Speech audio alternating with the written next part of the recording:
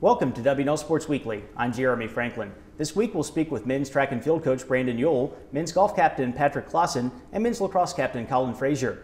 But first, a quick look back at the weekend in Washington and Lee athletics. Jillian Katterhagen won the pole vault, and Dana Lee claimed first place in the long jump as women's track and field finished second overall at the ODAC Indoor Championship in Landover, Maryland. On the men's side, Ian McDonald earned Athlete of the Meet honors by winning the mile and the 3,000 meters as Washington and Lee placed third. Both basketball teams lost in the ODAC quarterfinals. The sixth seeded women fell 55 to 53 to number three Lynchburg, while the men's team lost 81 to 53 to second seed and 10th ranked Virginia Wesleyan. Women's tennis dropped a 5 to 4 decision to Carnegie Mellon, but rebounded to defeat Skidmore and Sewanee, placing fifth at the ITA National Team Indoor Championship in Greencastle, Indiana. Men's tennis lost 7 to nothing to seventh ranked Johns Hopkins, but the Generals also picked up an ODAC win over Randolph. Wrestling wrapped up the season with the 17th place showing at the NCAA East Regional in Roanoke. Men's lacrosse defeated fourth-ranked Washington College 15 7 on the road, while women's lacrosse lost 17 7 on a neutral field against number 8 Franklin Marshall. And the golf teams opened up their spring schedule at the Berry Callaway Gardens Intercollegiate. Mary Frances Hall was the individual medalist as the women finished second, while the men came in eighth overall. I'm joined now by men's track and field coach Brandon Uhl. Brandon, welcome back to the show. Glad to be back. Overall, how pleased were you with the performance at the ODAC Indoor Championship? Overall, I was, I was real pleased. We were uh, obviously we were third, and we uh, left a few points on the board there. But as far as with the number of athletes that we that we currently have on the team, I think we maximized our potential, and uh, we're looking forward to going into the outdoor season. Going back to the fall, Ian McDonald uh, won the ODAC cross country championship, finished first at the conference meet, and then of course athlete of the meet at the indoor uh, championship this past weekend. What kind of sophomore season is he having? Well, he's literally having one for the record books. Um, you know, when you when you combine someone with his high character and with his um, his work ethic and his talent, I mean, you're going to have results like that. And he's having he's having quite a year. And that's something. When he was recruited, we thought he had that potential, and he's definitely living up to that. And uh, you know, God willing, he stays he stays healthy and. Uh, continues that hopefully for the indoor champion national championships and into the outdoor season. But he's just doing real well. We're real pleased with him. The Generals begin the outdoor season with the W&L Carnival in just over two weeks. What's the scoop on this year's event? Well, it'll be the typical, you know, 10 to 12 teams coming in, and uh, one of the big things with this year was we're going to be actually having the throws events over at VMI because of the construction. Um, but uh, they'll still should go off without a hitch, and uh, it's an exciting event for for our athletes because it's the one and only home event that we that we have, and uh, brings a lot of excitement. Typically, brings a lot of good performances, and uh, as coaches, we, we put in a lot of work to make to host it, but it's it's well worth it to see our, our teams really get after it and uh, enjoy being at home. What are the team's goals for the outdoor season? Well, to continue to develop. I mean, to build off of what we've done in the indoor season, what we did in the fall, and uh, obviously to continue to shoot for for that first place in the conference championship. But again, just to develop and uh, you know, work at getting better and better each day.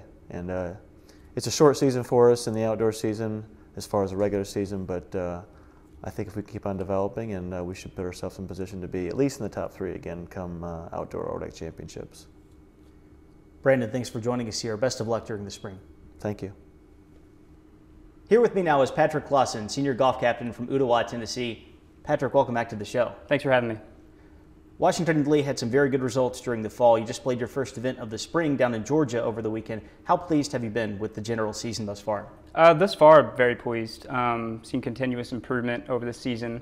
Uh, from the beginning of the year, we started kind of shaky at the fall preview, but then we had great results at Oglethorpe's tournament and then at a tournament in Texas where we finished fourth and third, and we had some really low scores. Conley Hurst shot 68 in Texas and then we finished off with Guilford's tournament in Greensboro, and we did very well there. And then with the Berry tournament uh, this past weekend, we were a little rusty because it's been a little snowy here and we haven't been able to go outside, but I feel like we fared pretty well against the competition. Most of the Generals' top performers this year have been first years and sophomores. What have the underclassmen brought to the team? They've, uh, they've really brought a fresh look to the team. I know we have five freshmen uh, this year, and all five of them can make the team at any time. And then with the addition of the sophomores, who are obviously all playing well, um, it's been a real challenge to make the team. And I think that's made everyone focus on their play uh, when qualifying comes.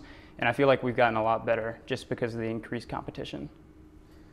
The ODAC championship comes right after the conclusion of winter term exams at Washington and Lee. What kind of challenge will that pose for you guys? Uh, it's a it's a difficult challenge, obviously, because uh, we won't have practice for an entire week just because of exams. Um, but luckily, I think the team is we've had the same situation before and we've dealt with it well. And uh, hopefully, during some study breaks, maybe some people can find their way to the course. I know that helps me uh, on occasion, but um, it does pose a challenge, but I think we can overcome it. What are your expectations for the Generals this spring? Uh, expectations are high. Um, this is obviously my last year, uh, and this is the best team I've seen in all my years here. And obviously, our expectations are to qualify for the national championship. We're on a really good track now. I think we're 23rd in the nation, and our ranking hopefully will improve. Um, we have a tournament this coming weekend at in Dataw Island, South Carolina, and it's a course we played a lot and we know. And I feel like if we do well there, and then move on to uh, Townsend has a D1 tournament, and the competition there will really help us for ODACs get ready for that, and hopefully to nationals. Patrick, thanks for joining us here. Best of luck the rest of the way. Thank you.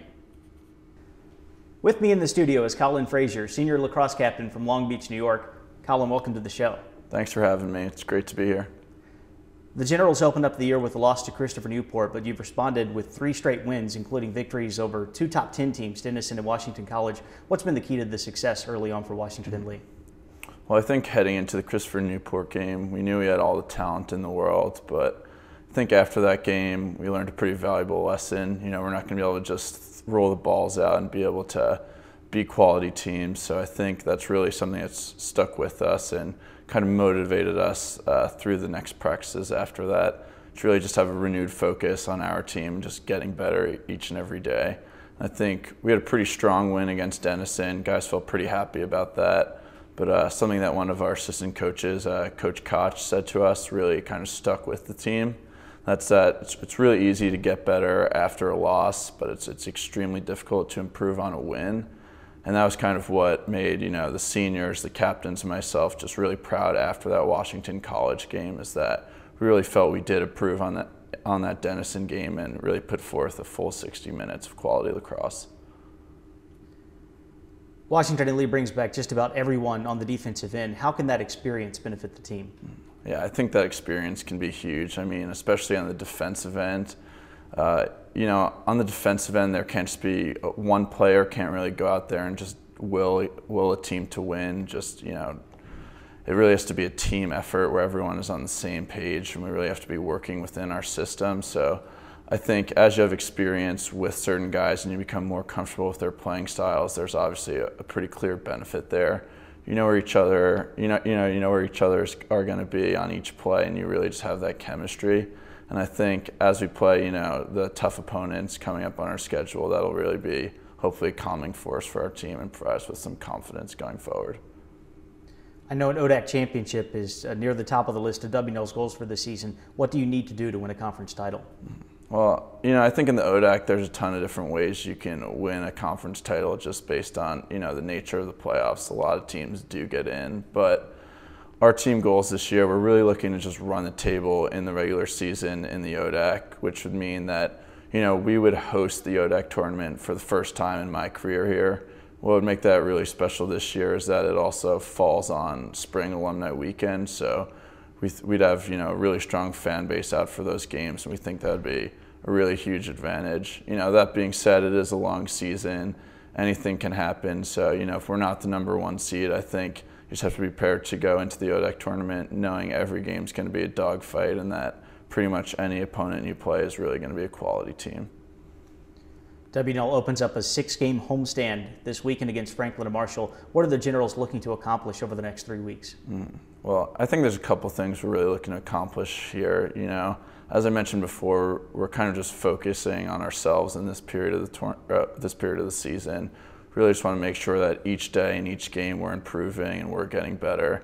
That each game we're playing better than we played in the last game. So I think that's kind of the first thing we're looking for there. But beyond that, you know, we've had a couple quality wins, but I think it's really important to prove to ourselves, you know, before we get into the heart of our ODAC season, that we're able to string together, you know, a large amount of wins in a row against these quality opponents. And I think this is a, a great way to, you know, prepare for the Roanoke's and the Lynchburgs of, of the world playing these quality opponents early on in our season. Colin, thank you for joining us here. Good luck the rest of the year. Thanks, I appreciate it. It's time now for a look at the upcoming weekend. The tennis teams will play home ODAC matches against Virginia Wesleyan and Emory and Henry. Men's action starts at 10, while the women will take the court at noon. Baseball is slated to face Lynchburg in a conference doubleheader, while women's lacrosse plays host to 8th ranked Salisbury, and men's lacrosse faces Franklin and Marshall. And on Sunday, men's tennis travels to Guilford. As always, check generalsports.com for the latest schedule updates and scores. For W&L Sports Weekly, I'm Jeremy Franklin. Thanks for watching.